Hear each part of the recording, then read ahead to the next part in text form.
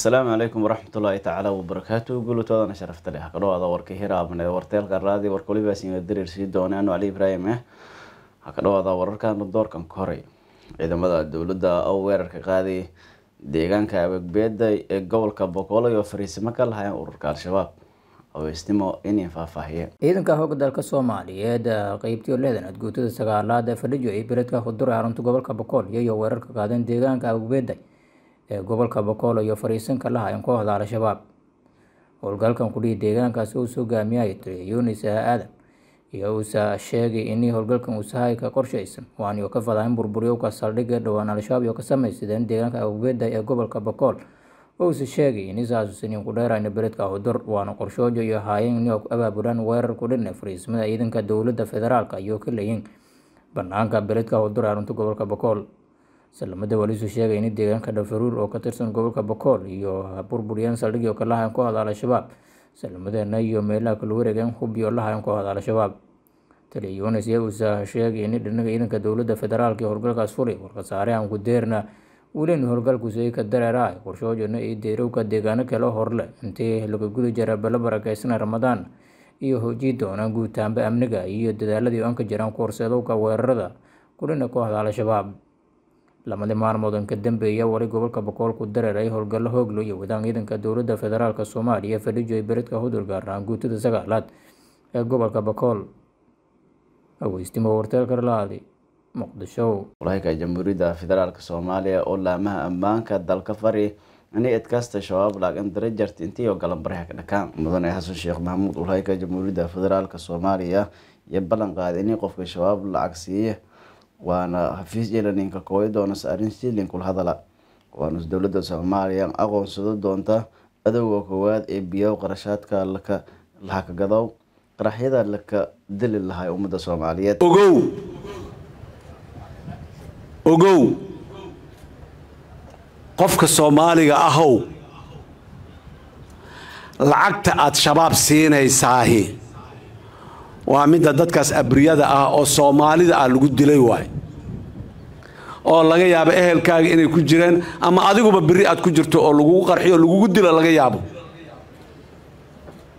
Shabaab iskuulaad ma dhiso masaajidda ma dhiso waddo ma dhiso bar caafimaad oo maxaan ku raha bukaan lagu daaweeye ma dhiso kama shaqeeyo. Lacagta aad bixinaysaah maxaad ku bixisaa shabaab qaraxuu ka shaqeeyaa ogow lacagta aad bixisay waa midda wax lagu qarxiyey. Lacagtaadiyaa dadka qarxisay. Adaa dadka qarxisay. Adaa dadka qarxisay. Markaad dhiibtay lacagtii qaraxa lagu soo iibiyey oo aad dhiibtay lacagtii kan qaraxa samaynaya mishaar looga dhigoo lagu siiyey oo aad iibisay lacagta kan qaraxa wadaa baabuurka uu ku soo raacay oo aad iibisay kan qaraxa wada dadka soomaaliyeed farriinta u faraya waxay tahay ha fahmaano hoos ha u eegaano. Cabsidu cudurdaar ma ahan. Horaan u ir waa sheega waa ku celinayaa aniga ha idilina orod hebel soo dil. Hooyadaas waa yeelka oo jidka maraysa soo dil. Wiilkaas dhallinyarada bajaajta wata soo dil midkaas iskuulka soo aaday saakay soo dil. Midkaas saakay maxaan ku rahda masaajidka kutubada ka akhriyo maxaa wadaa soo dil? Saasaad dhowhaysaa aniga ha idilina orod kuwaas soo dilaad dhowhaysaa war maalintii ilaahay kuugu talagalaad dhimanaysaaye maalinna ka soo hormari maysid maalinna kadib saacadna ka hormari maysid saacadna kadib dhici maysid. Cabsidu caqiidadaaday xumaynay alla ku xirnaanshahaaday yaraynay. War maalintaad dhimo laheedaad dhimane maalinaan ahayn dhiman maysid. Cudurdaar kuuma aha shabaabaan intaan lacag siiyo dadka ku qarxiyaa ka waantoobaan leeyahay dadka soomaaliyeed.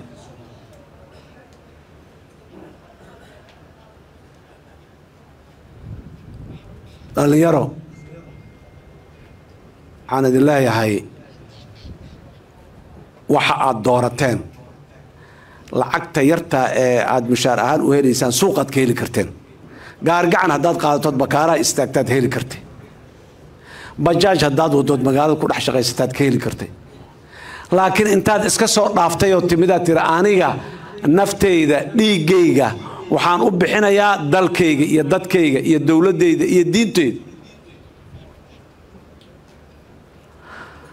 qadiyad weyn oo weyn oo aada iyo aada u qiimi badan waay qadiyaddaasi yaanay si aan macno lahayn oo nacasnimo ah oo maangaabnaan ah yay kaaga hallaabin. Ilaali kan ku dheelayana ka celi. Muunad ama mithaal u noqda dhallinyarada kale ee soomaaliyeed labada aqal ee baarlamaanka jamhuuriyadda federaalk soomaaliya oo dood gebagabe ee geegu kule cutubka lamaad ee dastuurka. Aweestimo iyo markalnin faahfaahiye. Lamada mag ee baarlamaanka jamhuuriyadda federaalk soomaaliya geeko sabteele kulan adag oo yoon ku doodaan gebagabada.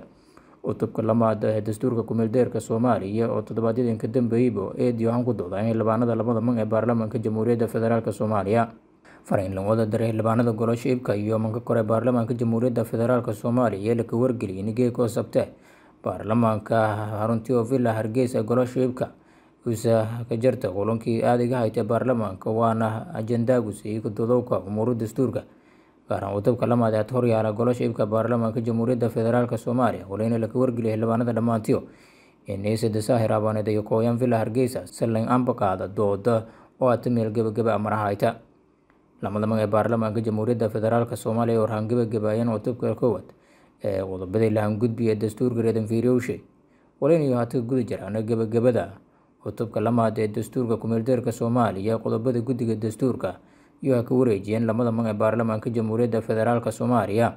Aana soo qorshowsayeen bilo maarso laha gebagabaayay doodiyo salag meelmari cutubadii korey oo dhammaystiran oo soomaaliya iyo weeldhata waleyna reed surina inay qodobadan la dhammaystira walaalka jamhuuriyadda federaalk soomaaliya oo dadaal badan uska biyahay.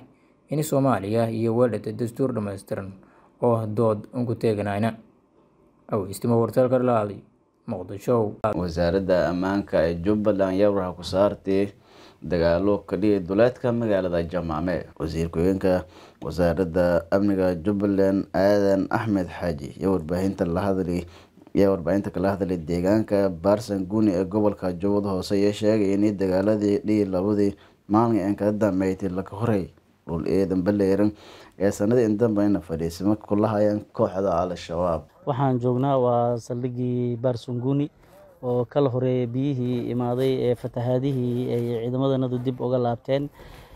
Howlgal qorshaysan oo maalmahan socday ayaan halkan ku soo gaarnay. Biidni illaahi kariim qorshahanaguna wuxuu yahay inaan sii soconno. Howlgalkan waa siduu u bilowday. Waxaana rajeynaynaa insha allahu tacaala meelo badan oo deegaanada jubbaland ka mid a inaan ku xoreyno.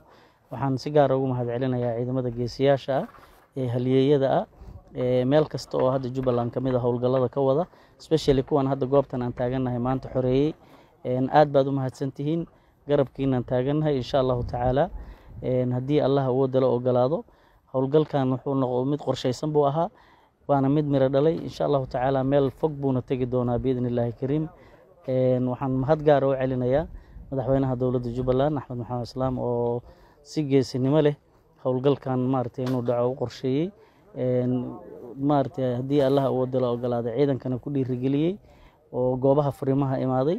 Maxamuud sayid madaxweyne ku-xigeenka isaga koowaad isaga sidoo kale maanta halkan uu ila joogay. Dagaalkoo socda ayuu nala joogay isagana waan u mahad celinaya ay dhammaan dowladda jubbaland aad baad u mahadsiin. Dowladda federaalk soomaaliya waxaan ugu baaqayaa inay sida dhaqso ah howlgalkan maxay ahayday uga qeyb qaadato. Ciidamadeeda kumaandooska hadda way nala joogaan wayna mahadsan yihiin iyagana sidoo kale howlgalkay nagula jiraan. Madaxweynaha jamhuuriyadda iyo dhammaan ciidamada waxaan baaq ugu dirayaa in howlgalkan maarata jubbaland ee bilowday la dardargeliyo oo ciidamada la garab istaago. Waayahay lundoorkana banaankan weliba kumada boqolaal ah oo arday laka afduubday dalka nigeria. Yaraan laba boqol toddobaatan arday laka waaysinyay kureed markii rakubaysan iyo weeraran iskuulka yaalla waqooyiga galbeed ee dalka nigeria. Weerarkan oo afduubkii lamaad ee toddobaadkan gudihiis ka dhigay dalkaasi. Saraakiila dowladda hoose ee gobolka kaduna iyo xaqiijiyeen afduubkan ka dhihi iskuulka kuriga khamiisi shalay laakiin maxabanan tirada aan ka dambeeytay ardayda la afduubaday maamulka dugsiga ayaa sheegay in ilaa labaatan shan kumada ardaydii la afduubaday reedlahankanaga waalidsho balse lama boqol toddobaatan shan arday weli la waaysanyi. Ilaa boqol toddobaatan shan kumada ardaydaas la waaysanye iyo la rumaysani inay da-dii on dhahayta siyeed ilaa toban iyo shan jar. Guud ahaan waliba intaa ka afmeeranaya warka helaabna warteelka raadi warkaan oli ibrahim la dareersi awees bashiir hasaare shaaficiya ninsanahayaay unoosku duun waliba singlana hiraawan fayla